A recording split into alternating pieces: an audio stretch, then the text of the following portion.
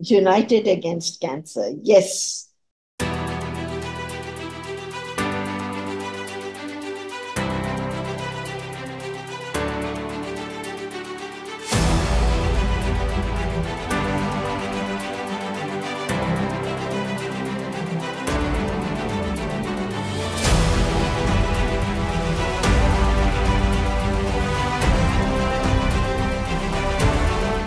Dr. Zeba Aziz uh, is an expert oncologist with 21 years, is that correct, of experience, and one of the best oncologists in, in Lahore with a very high patient satisfaction rate. Very important. Um, apart from her basic diagnosis, uh, her basic qualifications, she has expertise in the diagnosis and treatment of different kinds of cancers, such as lung cancer, skin cancer, brain, breast cancer, and serves in different oncology departments for years, treating all kinds of cancers. She provides personalized cancer treatment plans for patients of all groups, and her advanced technology makes her one of the top certified oncologists in Lahore. Uh, and belongs to organizations such as the Hamid, tell us which one is that? Hamid Latif Hospital. Yeah. And yes, so so well done for all the fantastic work that you're doing and remaining in your country and giving back to the uh, organization, to the country generally.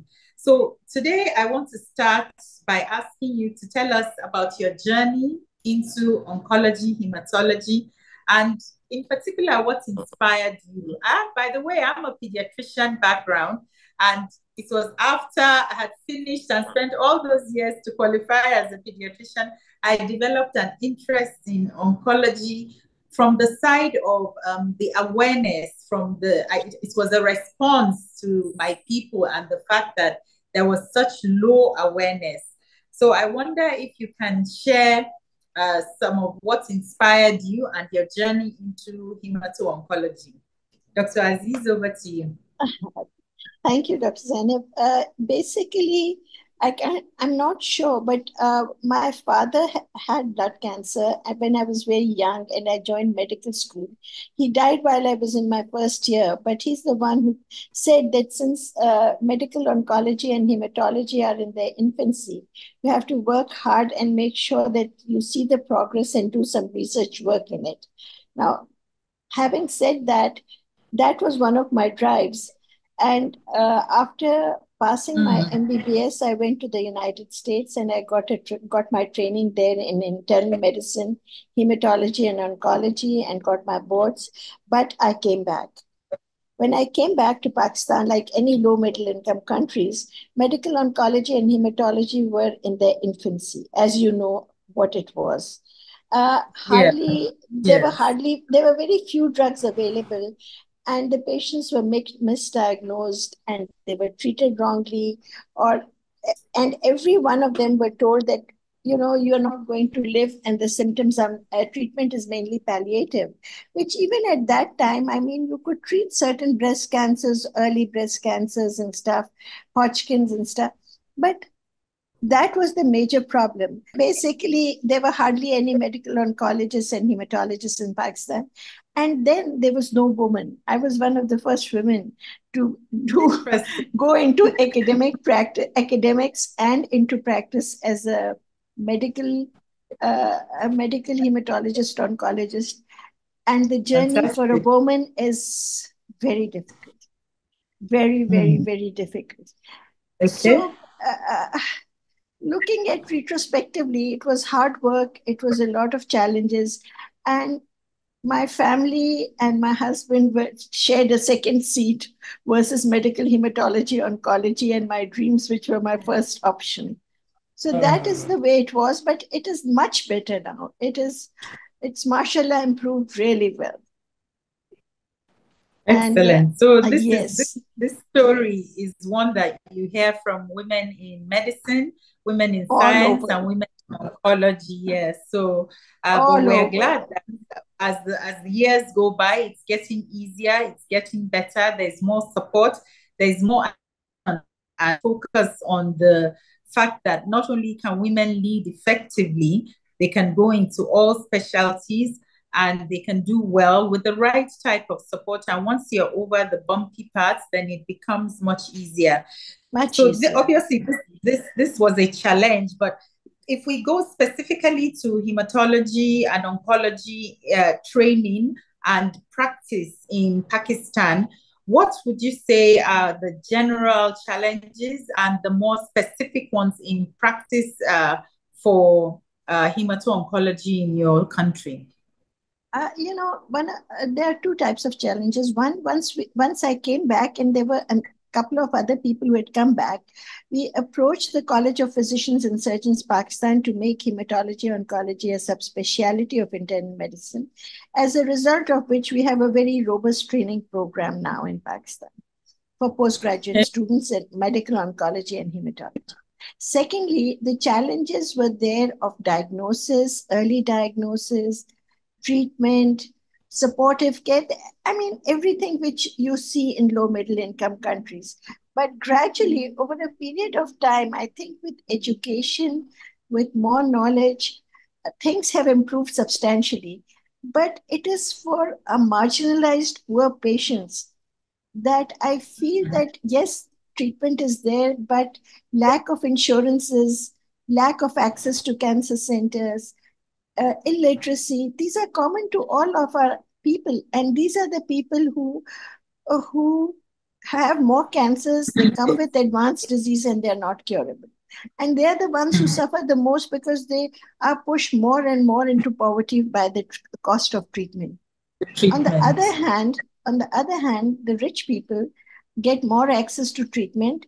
They do have early diagnosis, and we we've looked at a couple of uh, I published a couple of articles, and we are looking at some now. That socioeconomic status is one of the most important factors related to survival mm. in, our countries. I'm yeah. not talking about UK or North America, but even in North America, if you look at the data, they are stating that uh, you uh, social inequities do exist coming from a poor oh, yeah. neighborhood. Definitely. Definitely yes. There's a this there's there's disparity in country disparity. Exactly. Mm-hmm. so this so is what it is. But uh, but things have improved. We have mris we have a ct scans. We do have uh, PET scans in a couple of places, and it's not a problem because if, if you have a PET CT, you don't need it in every hospital. If you have it in four or five hospitals, yeah. you get you can get done. Uh, our pathology yeah. labs are good, but generally there are three or four good labs, and we send all our pathology slides there to be reviewed for special stains, immunohistochemistry, and everything else. So I can't complain that much we don't have access to the newer drugs uh, like uh-huh. T cells or this or that, but such is life. There's some things which you have, some things which you don't. Um, bone marrow mm. transplant is there in a couple of places, uh, but patients, fortunately or unfortunately, don't. Too many patients don't go either because of lack of refer, uh, referral or upfront cost of the treatment. So that's that's uh, interesting and good to well, some good, some not so good to hear. Yeah, but yeah. It's obvious that there has been progress, and so there is not uh, much local manufacturing because I know manufacturing is one of the key areas that Pakistan has tried. Yes, you have local manufacturing of chemotherapy. Yeah, yeah there is local uh, manufacturing but very limited and i very feel this is something yeah i'm not sure why that is the problem because we do have some some good pharmaceuticals here uh, but mm. we get access of the drugs from india and bangladesh which are way ahead of us mm. And this is something very sad that we are not manufacturing it ourselves. But the t- tablets we are, but uh, like rituximab or or Avastin stuff, we don't. We do letrozole, small drugs, cytotoxics. These are being manufactured. That's interesting. So, I have two million new cases of the Global report in 2020 of new cancer cases.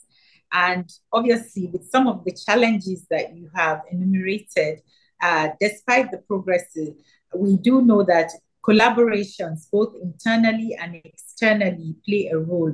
Can we talk a little bit about the role that your international collaborations has played in advancing cancer care and research, and with some uh, focus on the Union for International Cancer Control, which I believe have interacted with uh, uh, a member of the community? you see, the first thing we did was build up a society of medical oncology. When we had a core group of members, it's a small society, but I think it's an effective society. And then we joined the UICC because we knew that we would get a lot of help from UICC. And despite being expensive, which is like for us, it's very expensive to join it as a society. We still did it to get help from there to foster international collaborations and to see how the world is faring because you can't live in a well and not know what the outside world is like. So we had to do that. We, for research, uh, uh, we've joined the Asian Australian uh, Asian Australia uh, clinical research uh, uh, thing where we teach our students how to train in clinical research what should they do how should they do it. And every year because of limited amount of money we send two or three people students and mid-career oncologists to get training in stats in clinical trials how to do this and that then we have some international collaborations where we ask international faculty to come to Pakistan or over the Zoom, just like we're having a meeting today, uh, to look at and teach students and look at various things. We are planning to have an international journal club, uh, uh, sorry, an MDT conference, which I'll invite you also, and uh, present cases. Yes, present mm-hmm. cases mm-hmm. and get some international uh, people also on board so that we can learn how to do it. And we will tell them, ask them what is the state of art, and this are these are our limitations, and how do we manage within these limitations to the best of our ability. And best, this is yes. how we are gradually de- developing things. Developing gradually, yes. That's good. That's interesting. Yeah, we've also joined the SOHO. The uh, uh, it's an international hematology society, and from okay. there they the soho we they, we present there in turkey and we get invited there and we have our own presentations and then um, uh, we learn from them so these are little ways in which we are improving ourselves and i think we are getting there. Don't forget to like comment share and subscribe to onco daily on youtube. Hit the bell icon to stay update